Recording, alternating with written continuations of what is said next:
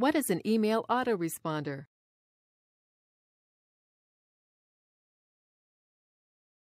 An email autoresponder is exactly what you'd expect based on the name.